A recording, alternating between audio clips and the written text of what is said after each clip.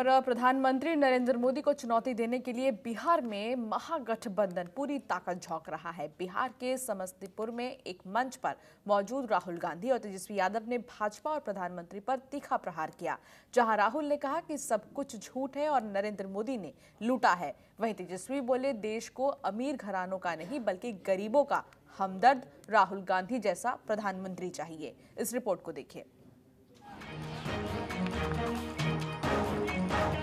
बिहार में एनडीए को टक्कर देने के लिए बने महागठबंधन ने 2019 के महायुद्ध में पूरी ताकत झोंक दी है। बिहार की राजनीति का ये नज़ारा पहली बार था जब एक मंच पर थे कांग्रेस के राष्ट्रीय अध्यक्ष राहुल गांधी और बिहार के पूर्व उप मुख्यमंत्री तेजस्वी यादव।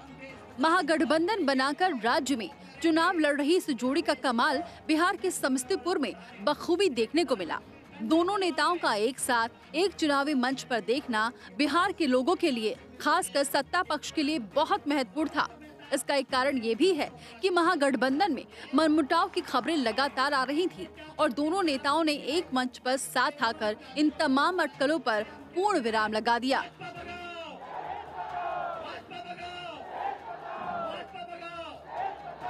कांग्रेस के राष्ट्रीय अध्यक्ष राहुल गांधी ने समस्तीपुर की सभा में बीजेपी और पीएम मोदी पर निशाना साधा।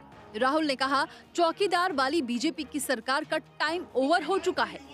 इसके साथ ही राहुल ने कहा कि नरेंद्र मोदी की सरकार ने बिहार को स्पेशल स्टेटस देने और युवाओं को रोज़गार देने का वादा किया था। लेकिन ये सब कुछ झूठा है और देश को नरेंद्र मोदी ने लूटा है। वहीं इस दौरान बिहार में नेता प्रतिपक्ष तेजस्वी यादव ने कांग्रेस अध्यक्ष राहुल गांधी को देश का अगला प्रधानमंत्री ही बता दिया। समस्तीपुर में राहुल के साथ मंच साझा करने पहुँचे तेजस्वी ने खुले दिल से राहुल की तारीफ़ की। तेजस्वी ने मंच से राहुल गांधी को देश का अगला पीएम बताया और कहा कि देश को आज राहुल गांधी जैसा प्रधानमंत्री चाहिए, क्योंकि राहुल गांधी जो कहते हैं, वो करते हैं। तेजस्वी ने कांग्रेस की न्याय योजना की तारीफ़ की और केंद्र सरकार पर हमला बोलते हुए कहा कि मोदी जी की पूरी राजनीति बनावटी है और वो झूठ की फैक्ट्री चलाते हैं। मोदी जी, आप सोचते हो कि आप लोगों को दबा सकते हो? आप सोचते हो कि आप बिहार की आवाज़ को दबा सकते हो? बिहार की आवाज़ को दबाने वाला आज तक पैदा नहीं हुआ है इसी में पैदा नहीं हुआ है। आप कौन हो? और बिहार की जनता बाकी स्टेट को छोड़ो। पहले नंबर पे बिहार की जनता नरेंद्र मोदी जी को मैसेज देने वाली है कि मोदी जी, आप बिहार की आवाज़ को कुचल नहीं सकते, आप बिहार की आवाज़ को दबा नहीं सकते। आपने जो हमसे झूठ बोला, आपने जो बिहार के युवाओं को झूठ बोला, दो करोड़ युवाओं को रोज़गार देने का झूठ, बिहार के किसानों को जो आपने झूठ बोला सही दाम देने वाला झूठ। और बिहार की माताओं बहनों को जो आपने झूठ बोला, पंद्रह लाख रुपए का झूठ। ये हम भूले नहीं है।